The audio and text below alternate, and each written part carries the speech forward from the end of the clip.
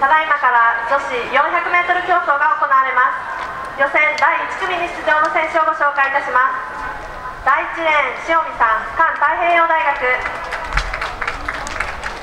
第2レーン園田さん鶴文化大学。第3レーン名倉さん中京大学。第4レーン竹石さん福島大学。第5レーン吉川さん愛知教育大学。第6レーン山田さん私学館大学。第7レーン阿部さん中央大学。第8レーン小島さん東京女子体育大学。以上8名の出場でスタートです。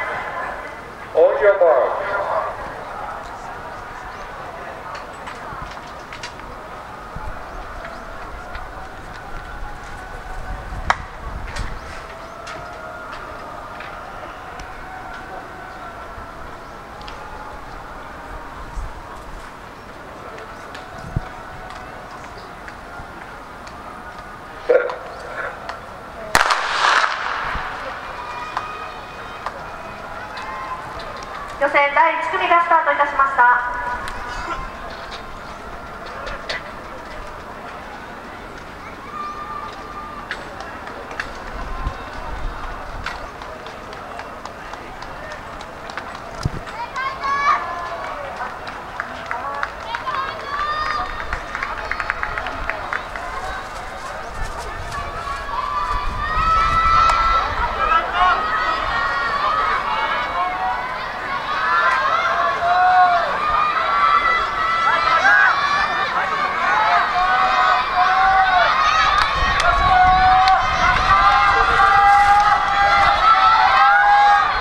は名倉さん中京大学。続いて竹石さん福島大学。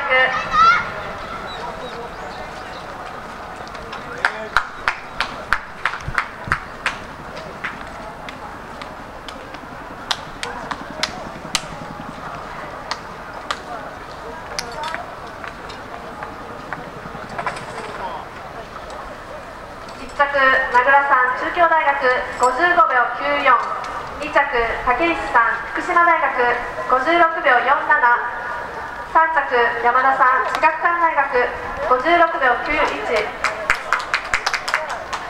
リプレイをどうぞ。